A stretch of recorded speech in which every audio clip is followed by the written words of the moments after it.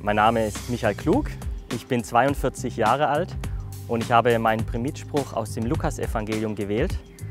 Und der heißt, wer mein Jünger sein möchte, der nehme täglich sein Kreuz auf sich und folge mir nach.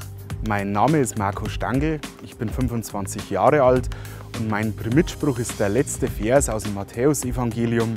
Seid gewiss, ich bin bei euch alle Tage bis zum Ende der Welt. Mein Name ist Peter Kunz, ich bin 30 Jahre alt. Mein Primitspruch stammt aus dem zweiten Korintherbrief. Mitarbeiter eurer Freude. Nicht viel schlafen, weil ich glaube, es ist ein großer Tag, auf den man lange hingearbeitet hat. Der Tag, der jetzt mal so vorläufiges Ziel ist, bevor es dann so richtig losgeht draußen in der Pfarrei.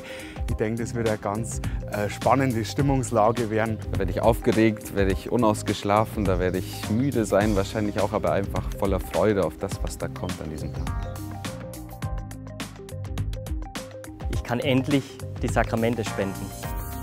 Ähm, ich finde die Sakramente sehr wichtig, auch in der heutigen Zeit. Und natürlich auch der Dienst. Das ist der Dienst äh, für die Menschen, mit den Menschen, auf den man sich in den Jahren des Studiums an der Uni vorbereitet hat, nun in Gemeinschaft zu leben, den Glauben zu leben. Wir werden die ersten Stellen bekommen, wir werden umziehen, wir werden dies und jenes vorbereiten müssen für den Schulunterricht, der dann kommt.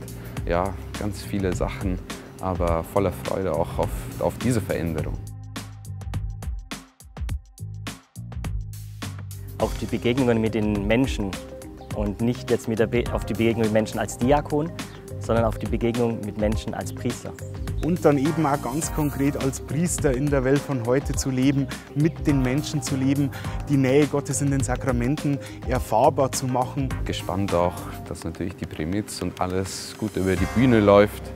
Gespannt auf viele neue Be Begegnungen mit vielen Menschen in der nächsten Zeit.